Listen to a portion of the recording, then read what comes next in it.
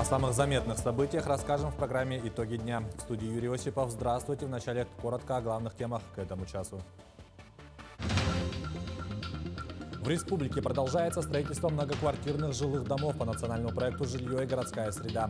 Так, в микрорайоне Звездный идет строительство котельной с мощностью 112 киловатт.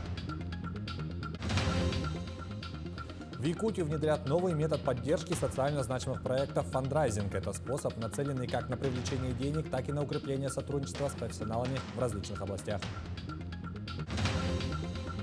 В Якутске начнется трехмесячник по вывозу снега с улиц и дворовых территорий. На данный момент убрано и вывезено около 20 тысяч кубических метров снега. Продолжается работа по оказанию помощи участникам специальной военной операции и членам их семей, в том числе помощи психологов. Москвич-полярник будет зимовать в столице Алмазного края. Команда из четырех путешественников завершила путь по зимнику.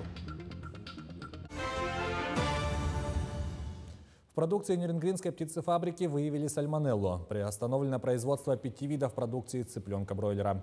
Сегодня появилась информация о том, что в продукции Нюрнбергской птицефабрики обнаружен вирус сальмонеллеза. Превышение показателей выявлено в пяти позициях, производимых из цыпленка-бройлера. По информации руководителя птицефабрики, речь идет о продукции, которая была произведена 11 января и отправлена в Якутск. Он отметил, что пока нет ясности, на каком этапе произошло попадание вируса. По его словам, в помещениях, складах и холодильниках птицефабрики все в порядке.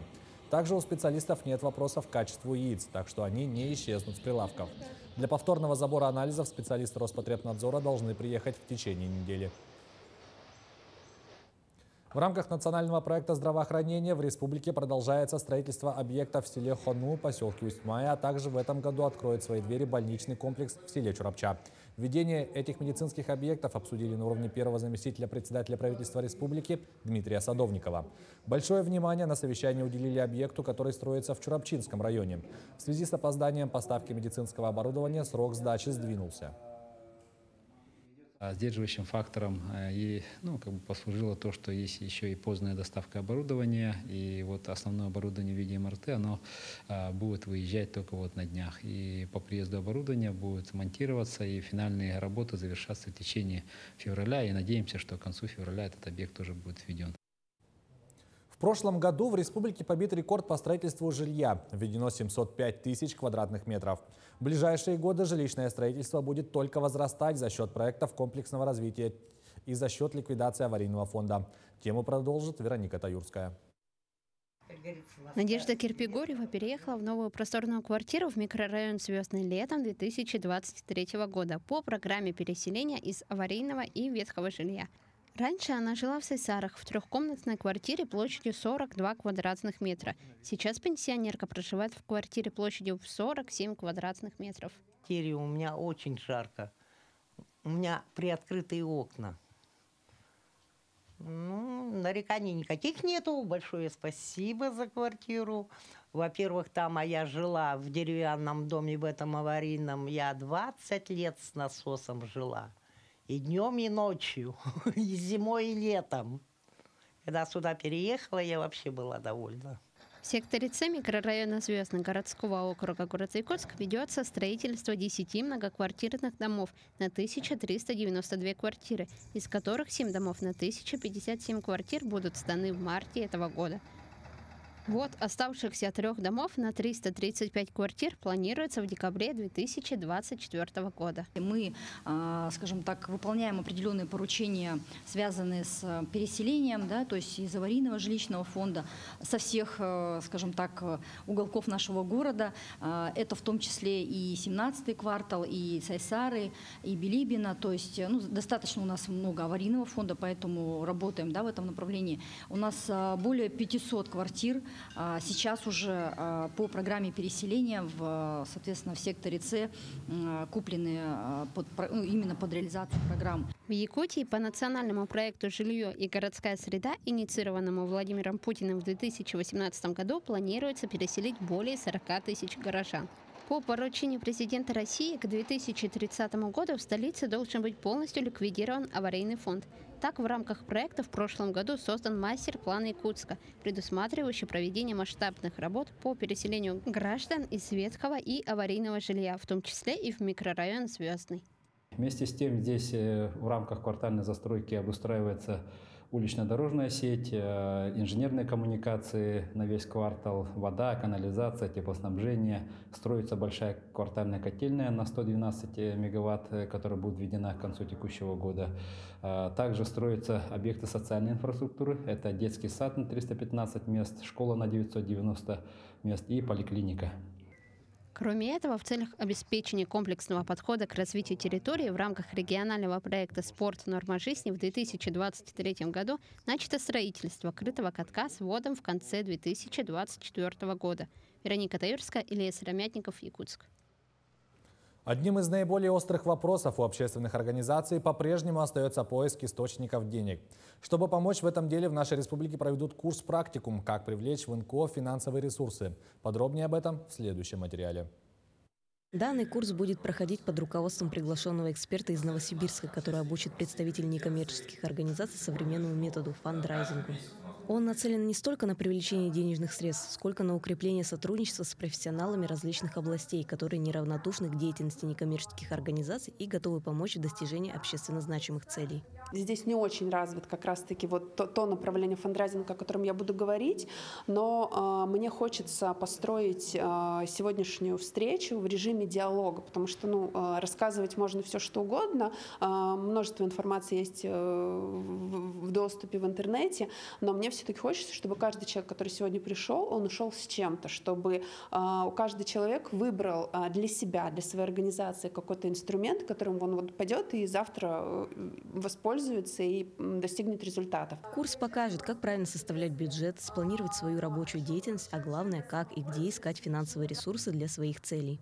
Некоммерческие организации играют важную и незаменимую роль в экономике и обществе. Оттого и важно оказывать им поддержку в виде подобных обучающих мероприятий. Общественники приходят помогать там, где, возможно, есть определенные маленькие проблемы, и они могут своими маленькими проектами, идеями, просто своим неравнодушным отношением к делу решить этот вопрос и помочь сделать жизнь лучше именно на месте, локально. И это очень важно. Поэтому сектор НКО, мне кажется, приобретает огромную значимость, и мы это поняли, например, э, во времена ковида, как были важны важны волонтеры. Мы во время СВО также это понимаем, то есть как важны наши общественники, неравнодушные граждане. И мне кажется, этот тренд, это направление сохранится. Подобные мероприятия будут проводиться и дальше. Так, в марте состоится традиционный гражданский форум, где на одной из площадок пройдут лекции, семинары по наиболее актуальным темам деятельности некоммерческих организаций и общественников. Продолжить обучение они смогут в апреле, в День гражданского активиста. Марина Захарова, Павел Пахомов, Якутск. В городе Докучаевск Донецкой Народной Республики начались восстановительные работы, которые как шеф региона выполняет Якутия. Одним из объектов восстановления будет городская больница. На сегодняшний день здание больницы нуждается в капитальном ремонте, а также в приобретении нового современного оборудования. Сейчас врачам больницы приходится работать на аппаратах, произведенных 40 лет назад.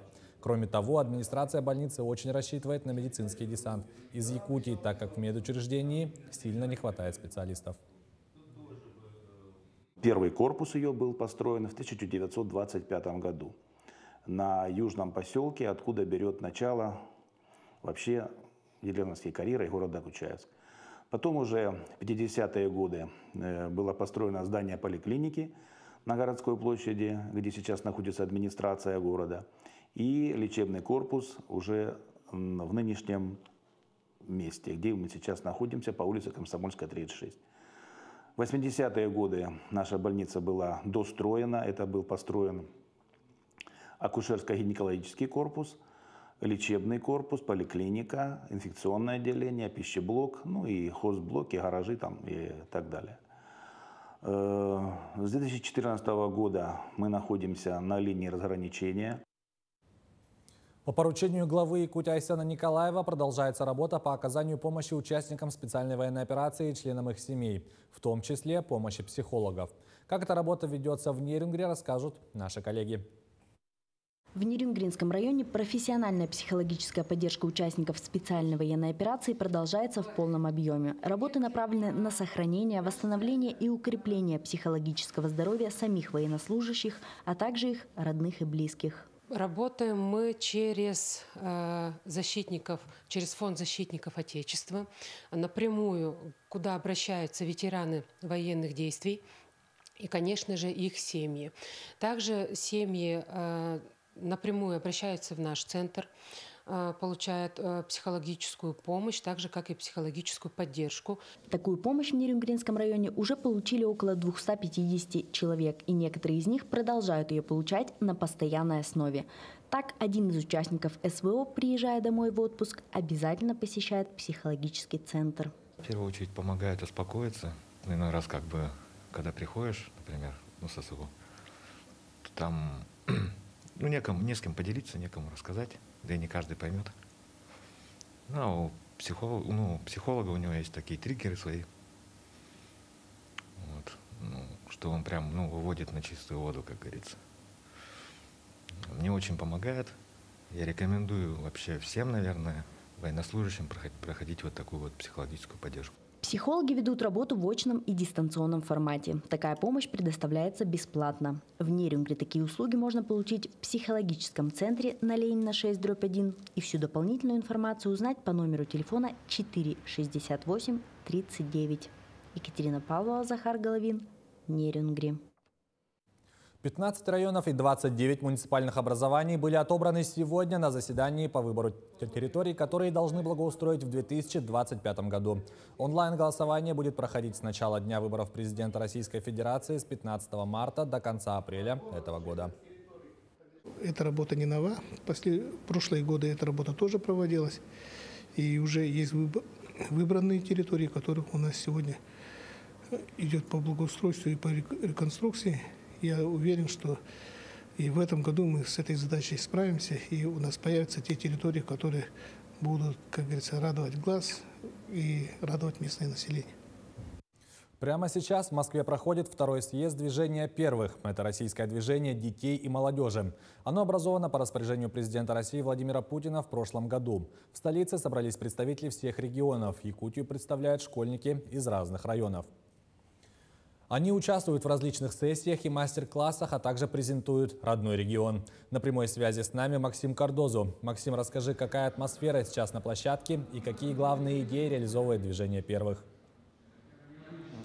Приветствую тебя, Юра. Атмосфера здесь замечательная. Отовсюду слышны какие-то кричалки. Я как будто бы в летнем лагере сейчас нахожусь, и некоторые дети приехали с элементами национальных костюмов, и ты понимаешь, насколько у нас такая разнообразная, яркая страна, а насколько счастливые дети. У них горят глаза, они хотят познавать что-то новое. Просто замечательно. Здесь, конечно же, очень, очень жалко, что я не школьник. Так сказать, смахнуть бы сейчас цать лет и присоединиться к этому движению. Я бы с удовольствием это сделал. Кстати, движение молодое, так как и сказал, а, было организовано в прошлом году по инициативе президента нашей страны. И, наверное, главная его задача – это, конечно же, развитие подрастающего поколения. Это не только э, такая патриотическая работа, ведется 12 различных направлений, и главное, дети могут себя попробовать в самых разных ипостасях. Это и творчество, это и наука, участие в различных конференциях, это спорт. Можно поучаствовать в волонтерском движении или, например, узнать азы первой медицинской помощи. В общем, э, главное смело пробовать что-то новое, искать себя и ничего не бояться. И, на мой взгляд, ведется, конечно, такая большая профориентационная работа в этом движении, потому что, конечно же, школьники внутри этого движения а, могут потом осознанно а, сделать свой выбор поступать в ВУЗ и уже серьезно связать свою э, дальнейшую жизнь с какой-то конкретной профессией. Сюда, в Москву, на второй съезд приехало 3000 делегатов из 89 регионов. Конечно же, здесь работает и якутская делегация. А, давайте послушаем, что нам сказал председатель регионального республиканского отделения, на что еще делается ставка у движения первых есть ценности. Одна из э, главных, на мой взгляд, это ценность семейная. То есть мы э, популяризируем традиционную семейную культуру, культуру отцовства и материнства. Для Республики Саха-Якутия это очень важно. У нас есть э, события, в том числе, например, Мунха, которые могли бы претендовать на статус федерального проекта. Потому что тут и волонтерство, тут и любовь к родине, и семейное воспитание, и воспитание мальчишек – и роль отца, все, что нужно современному российскому обществу, на мой взгляд. Якутская делегация – это 11 человек, 8 из них – это школьники. Ребята приехали из Якутска, Мирного, Вилюйска, Верхневилюйска, Намцев. В общем, получилась такая вот представительная э, география, конечно же.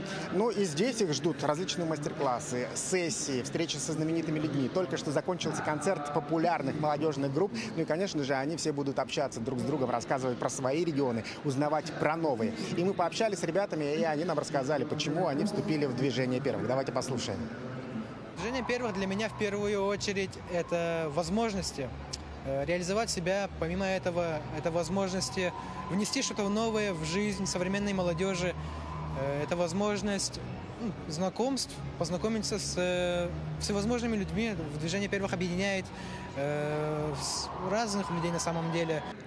Движение первых, отделения этого движения открыты во всех улусах и районах нашей республики, так что можно смело присоединяться от 6 до 18 лет. Это могут быть школьники и студенты различных училищ. Так что присоединяйтесь, друзья, замечательная инициатива, развивайтесь и творите. Юрий. Максим, спасибо за информацию. Ну а я напомню, что на прямой связи со студией был мой коллега Максим Кардозу. Якутская студия «Полигониум» занимается разработкой гиперказуальных игр «Алас» и «Харон». Студия занимается разработкой на протяжении двух лет. За это время выпущено более 40 игр. Гиперказуальные игры не имеют возрастных ограничений, они легкие, понятные и доступные. Подробнее в следующем сюжете. Сдает души врата в основе сюжета игры «Харон» лежит древнегреческая мифология. Харон, перевозчик душ умерших, должен переправить через реку в подземное царство, а также сразиться с монстром с помощью оружия рыбы. Конечная цель – это открыть карту локации, прокачать героя. Мы не фокусируемся на одной игре, мы делаем параллельно по две игры, чтобы найти хит. Если мы Харон сделаем Э, хорошо, тогда мы уже сможем делать и другие проекты. Издавна в летнюю пору семьи переезжали на летники в отдаленные Аласы, строили быт и вели хозяйство. Суть игры заключается в том, чтобы игрок помог главному герою создать свою большую ферму, добывая ресурсы для построек. За разработкой игры стоит команда, которая состоит из разработчика, художника и программиста. Владислав Лавровский увлекается программированием со школьной скамьи. Он воспроизводит миры, оживляет и вкладывает реальность в каждое движение персонажей игры для того, чтобы игроки получали максимальное удовольствие от времяпрепровождения. Мы вдохновляемся другими играми, которые стали популярными. Мы смотрим как-то разные жанры, да, вот э, также обсуждаем то, что нам нравится, какие, в какие игры мы играем. И, ну да, вот как-то все предлагаем и приходим к какому-то компромиссу, либо там к чему, ну, договариваемся, да. Презентовать мобильные игры планируют до конца этого года. Отметим, Якутия – родина целого ряда успешных IT-стартапов. В области развития креативных индустрий занимает лидирующие позиции. Президент страны Владимир Путин поставил задачу разработать всероссийский стандарт креативной индустрии на примере нашего региона. Даяна Федорова, Илья Сыромятников, Якутск. В Росгвардии напомнили владельцам о нарушениях, которые приводят к лишению оружия. Среди одной из причин – нарушение порядка проведения митингов.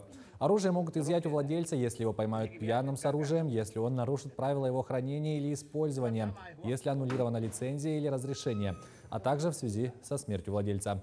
Среди причин для аннулирования лицензии – повторное привлечение в течение года к административной ответственности за правонарушение, посягающее на общественный порядок и общественную безопасность или установленный порядок управления. С отступлением зимы на улицы выходят коммунальные и дорожные службы для очистки города от накопившихся осадков. В Якутске начинается трехмесячник по вывозу снега с улиц и дворовых территорий. О том, как ведутся работы, расскажет Надежда Саханская.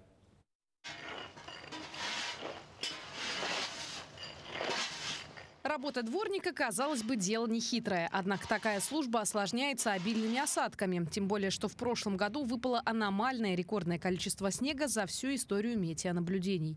Геннадий Шитиков работает уже 10 лет и признается, что убирать снег несложно. Важно иметь грамотный подход к делу. Мы срываем, подготавливаем, и уже идет основная техника снегоуборочная. Да, вот сколько человек задействовано при этом? Ну, в зависимости от участка работы и улиц. Ну, вот тут много снега, так, народу много.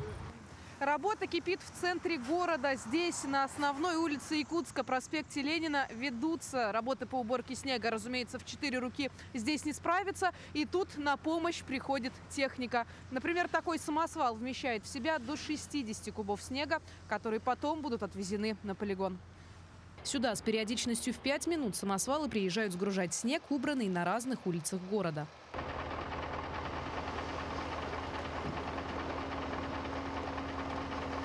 У нас за сутки 30 машин ходит. Э, полторы, две с половиной тысячи завозится в сутки снега нашими машинами. Пока все возят нормально, без всяких. Ни больше, ни меньше. Все вывозятся как положено. Для беспрепятственной работы техники жильцы также должны создавать все условия. Своевременная уборка и вывоз снега решает не только эстетическую проблему, но и позволяет безопасно перемещаться пешеходам. Однако есть и нерадивые жильцы частных домов, которые сами плюют себе в колодец. Каждую весну мы наблюдаем такую картину, что э, частный сектор со своей территории вывозит э, снег именно на проезжие части, то есть внутриквартальные проезды. Из-за этого снег тает, то есть когда они не вывозят самостоятельно, снег тает и происходит подтопление придомовой территории и дорог в целом. В целом, на текущий момент силами управляющих компаний с придомовых территорий убрано и вывезено около 20 тысяч кубических метров снега. Специалисты же готовы к любым погодным условиям. А в рамках предстоящего трехмесячника выполнятся работы по вывозу не только зимних отложений, но и очистки санитарных точек, а также уборки наледей. Надежда Саханская, Павел Пахомов, Якутск. В Якутии планируется строительство лесопитомника. По словам руководителя Якут лесресурса Виктора Омукова, возглавляемое им учреждение готово на основе софинансирования построить в Алдане теплицу с закрытой корневой системой на 250 тысяч саженцев. Также рядом планируют обустроить зону доращивания и закаливания. Начать намерены с высаживания семян сосны. Алданский район готов направить на эти цели средства, полученные от предприятий в качестве платежной платежей за неблагоприятное воздействие на окружающую среду. Данный проект направлен на то, чтобы вырастить собственные деревья, максимально адаптированные к местному климату. На сегодняшний день в большинстве случаев саженцы приобретают за пределами республики. В зоопарке Ортодайду белые медведи Колымана и Ломоносов стали родителями двойняшек. Пару белоснежных малышей разглядели на днях сотрудники зоопарка через камеру видеонаблюдения, установленную в вольере Колыманы. Сюда белая медведица залегла еще в декабре, а перед этим начала отказываться от еды, что указывало на интересное положение самки. Сообщается, что пока пол медвежат по камерам определить невозможно. Это станет известно приблизительно в конце марта. Именно в это время ожидается первый выход малышей с мамой в свет. И как только пол медвежат будет раскрыт, сотрудники зоопарка объявят о конкурсе имен для медвежат. Это случилось уже в третий раз у Колымана. Вот, первую Харчану вы все знаете, наверное, в Ленинградском зоопарке живет. Алмаз живет э, в Хабаровском зоосаду. Вот. И эти медвежата, ну, сейчас их главная задача это расти, развиваться. Они только кушают и спят, вот, и свой вес набирают. И дальнейшая их судьба, конечно, будет определена позже. Вот, э, все животные, белые медведи э, в нашей стране, они э, значит, перемещаются согласно программы сохранения белого медведя. Есть куратор программы, то есть это не продажа именно, а вот перемещение и формирование пар внутри Российской Федерации. Москвич-полярник будет зимовать в столице Алмазного края. Команда из четырех путешественников завершила путь по зимнику. Напомним, блогеры добрались на автомобиле «Москвич-412» 1981 года выпуска до села Урюнгхая. Затем на вездеходе до мыса Пакса, самой северной точки Дальневосточного федерального округа. Более подробно смотрите в сюжете далее. Экстремальная команда про путешествие еще в прошлом году на одном автомобиле добиралась до мыса Челюскин. Основной целью проекта было показать всю красоту и природную уникальность Арктики и Дальнего Востока, многогранность коренных народов Севера. На этот раз команда из четырех путешественников решили поехать на ретро-автомобиле «Москвич» 1981 года выпуска. Ну, уже получается год, как э, был куплен этот автомобиль.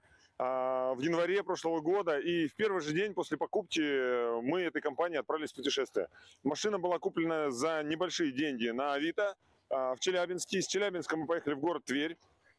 И э, сразу же начались поломки. То есть, э, потому что машина именно, это именно была цель, чтобы купить и в этот же день отправиться.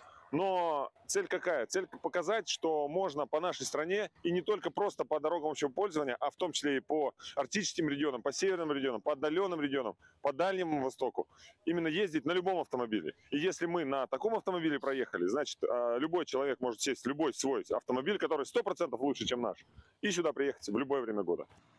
Блогеры действительно доказали, что до большинства мест в нашей стране можно добраться на обычной машине, и дороги это позволяют. Об этом путешественники намерены рассказать в блогах, которые в скором времени выпустят на своих каналах. Тем самым показать простым жителям, что в нашей стране есть большие возможности для путешествий с нами фотографируется, делает да. подарки, сигналит. За, за год «Москвич» это стало самым известным москвичом в России, да, потому что по всем трассам нас, нас, нас везде как бы стараются... Уже узнают сильно, да, да. Да, и фотографируются с нами, э, дарят подарки, всякие достопримечательности, пирожки. Э, в Перми нам подарили запаску для москвича. И это очень душевно и э, действительно трогает до глубины души. Пока москвич-полярник остается в столице Алмазного края, чтобы летом продолжить свой путь и показать зрителям Якутию, насколько она разная и уникальная, показать совершенно новые места и главный национальный праздник – Исэх. Анна Васильева, Мирный. Таким наши корреспонденты увидели уходящий день. Но я с вами на этом прощаюсь. Оставайтесь на нашем канале.